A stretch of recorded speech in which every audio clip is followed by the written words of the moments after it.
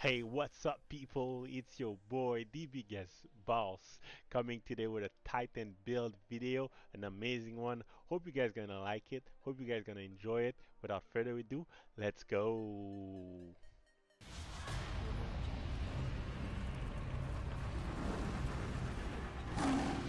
Boss. All right, let's go through the build. Okay, so what I'm go uh, I'm going to show you first, it's uh, the weapon. Second, the armor and the stat attribution, also the exotic I'm using. And, all, and um, for last, I'm going to show you what subclass I'm using with this build. So let's start. My weapon, uh, Succession. Okay, my uh, it's a sniper rifle. You get that from the raid, the DSC raid. Okay, Deepstone Crypt. My uh, exotic, Sunshot. Uh, my energy exotic is the Sunshot. Okay, and my um, heavy, it's Falling Guillotine, okay, for that uh, super high um, sustain and burst DPS. My stat attribution uh, doesn't really matter what you guys have. The only thing that you can uh, put uh, an emphasis on it's uh, resilience because you want to be super tanky with this build. Then my exotic armor, I'm using Icefall Mantle. Okay, um, for those who don't know what that does, it's pretty simple. Instead of being able to put your barricade uh, like you used to do with the Titan, but it's gonna replace your barricade with an overshield. Okay, and also, uh, it said replacing your barricade ability with a personal overshield. When you activate your barricade, you create a burst around yourself that slow combatant. While you have the overshield, you are slowed and barricade does not recharge. Okay. Now, my subclasses, my subclass, it's um I'm using bottom tree Solar with uh the reason is because I need that that Sol Invictus because it's gonna get me more tanky. It said Solar ability kill restore your health. Okay, so every time you're gonna do a Solar ability kill, you're gonna get your health back, which is gonna make you even more tanky here with this build. Okay, so let's go be, uh, with the concept of the build. First, uh, if you you you facing uh, gr- a group of ads, you're gonna use your Sunshot because Sunshot, for those who don't know, it's the weapon for explosive rounds and highlights target that stake damage from Sunshot. And why it's such a good weapon to add clear it's because when you kill an enemy, it's gonna do an explosion of um, of Solar, and then if there's an enemy next to him and the explosion does enough damage to kill him, this, the, the second enemy will also exploding. So you can explode like uh, three to four enemies with one kill uh, using the Sunshot. Very good to clear ads. Okay, but what's gonna make that build even better? What's gonna make that Sunshot even better is because I'm gonna combine it with a mod called Wrath of Rasputin.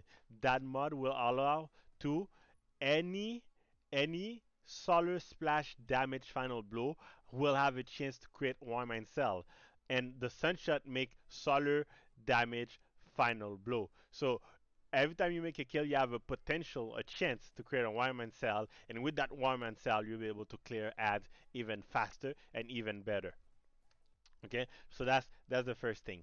You're gonna use your succession to do um, to, to to do major damage, like uh, damage against major enemies. Okay, and then when it comes to bosses, this is the, the, where the builds become very nice. It's when it comes to bosses, you're gonna use your Fallen Guillotine combined with that Mantle. So basically, you're gonna pop your barricade. You're, you're gonna pop your uh, yeah your barricade, but because I'm using the Mantle, it's gonna be an overshell on me. Then I'm gonna jump into the, jump to the boss and start melee him with my um with my sword. And I'm not gonna be scared of dying because I'm gonna be uh, I'm gonna be able to take the, the damage because I have the overshell from the Icefall Mantle, and the Fallen Gear itself will be able to help me shred to the enemy uh, health. All right. Uh, One more thing that's gonna make this that, that will make this build even better and make your damage even better. It's because I'm using uh, for the sword, I'm using the, the mod called Lucent Blade. If you don't know, it said uh, while charged with light, dealing damage with a sword give you bonus sword damage for 5 seconds and it's going to consume one, stack, uh, one stack of charge with light. Okay?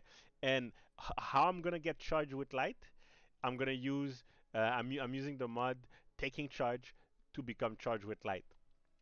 And one more thing that's going to make me even tankier and not be scared of dying when I'm pushing a boss uh, with my sword is because I'm using on my uh, on my uh, Titan mark. I'm using the mods uh, that you can get from the artifact of this season. Uh, it's called the Passive Guard. So it's a mod that will help me receive less damage from combatant when I'm uh, having my sword in my hand. Okay, so that's the concept of the build so what i will do now i will leave you with a gameplay showcase uh, showcasing the build. Uh, it's very fun. I suggest you try it and let me know down in the comments how do you like the build. And if you enjoy the video if you like the concept and and everything make sure to subscribe and also hit the bell notification. And all as well you can catch me live on twitch.tv slash dbiggestboss all right guys. Cheer. Take care. Stay safe Let's go.